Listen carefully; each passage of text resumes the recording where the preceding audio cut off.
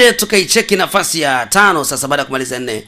Eh, wanaita kolea ni Swordsman, mkolea mshikapanga. Basi ngoma ndio hii hapa. Yes wacha tuluke sasa tukaone kinachojiri.